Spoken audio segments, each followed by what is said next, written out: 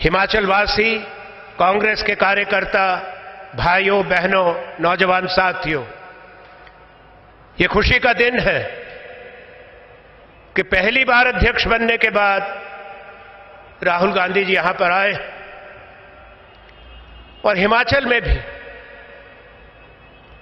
एक परिवर्तन के बाद एक पुराने साथी और कार्यकर्ता कुलदीप राठौर जी को अध्यक्ष बनाने के बाद हम आपको बधाई देते हैं और धन्यवाद देते हैं। आज देश के अंदर कई विषय चर्चा में हैं। चुनाव की बिगुल बच चुका है। औपचारिकता है चुनाव आयोग की घोषणा की। इसलिए आज हिमाचल में, कांगड़ा की वादी में राहुल जी, आप आए हैं। ये उम्मीद यहाँ पूरा हिमाचल ही नहीं, पूरा हिंदुस्तान करता है कि जिस ढंग से आप एक संदेश हमारे लोगों को, देश के लोगों को दे रहे हैं, जो जनहित का है जन कल्याण का है, हिंदुस्तान की मजबूती का है, हिंदुस्तान की एकता का है, और हिंदुस्तान जिस बदलाव को चाहता है, उस बदलाव को लाने का है। पाँच साल पहले दिल्ली में हुकूमत बदली थी और जो सरकार आई थी उसने वायदे किए थे सब्ज बाग दिखाए थे। वक्त है इस चुनाव में जवाब मांगने का नरेंद्र मोदी जी से हिसाब मांगने का हर उस वायदे का जो पूरा नहीं हुआ हर बे, बेकार नौजवान को अधिकार है यही मौका है उनको एक अपना संदेश देने का कि जो लोगों को गुमराह करते हैं, भ्रमित करते हैं, झूठे वायदे करते हैं, उनको हिमाचल के लोग और हिंदुस्तान के लोग बर्दाश्त नहीं करेंगे। देश की तकलीफें बड़ी हैं। मैं उसका खुलासा नहीं करूँगा, क्योंकि राहुल जी को सुनने के लिए आप आए। पर एक बात ज़रूर कहूँ, ये भूमि बहादुर जवानों की है।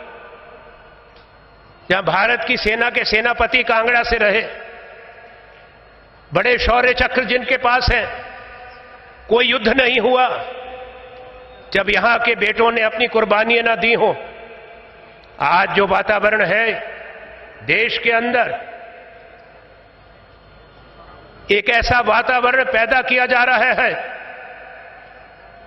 कि असली मुद्दों से लोगों का ध्यान हटा दिया जाए।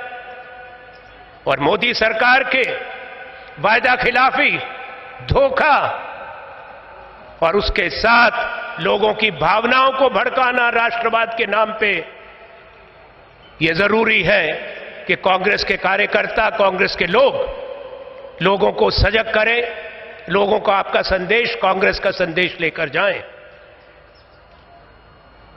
आज की सरकार से प्रश्न करना नरेंद्र मोदी जी से सवाल करना आपका कांग्रेस का और हिंदुस्तान के लोगों का अधिकार है प्रजातंत्र के अंदर। हम इस चीज़ को बर्दाश्त नहीं करेंगे। अगर हमारे सवाल करने पर हमारी राष्ट्रभक्ति पर कोई टिप्पणी की जाएगी।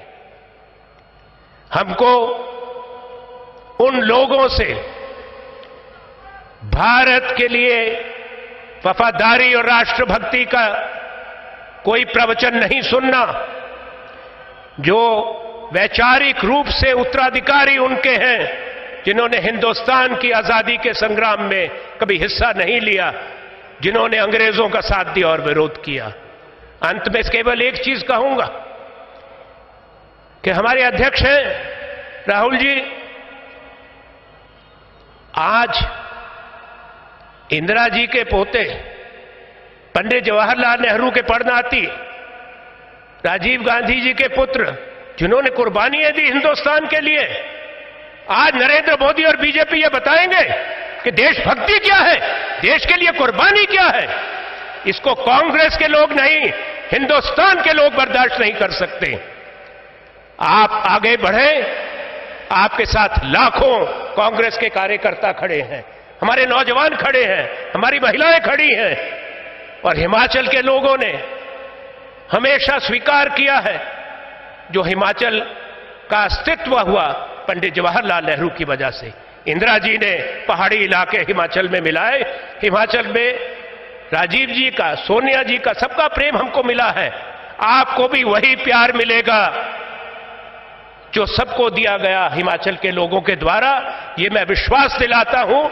और मुझे पूरी उम्मीद है कि आने वाले इस चुनाव में आप लोग जो कार्यकर्ता संदेश लेकर जाएँगे, बहादुरी से, मजबूती से, एकता से, हर बात को भुला के, हर मतभेद को भुला के, इस चुनाव के अंदर नरेंद्र मोदी और बीजेपी को शिकस्त देने का काम करेंगे। ये वायदा आप राहुल गांधी जी से करिए। धन्यवाद। जय हिंद, जय भारत।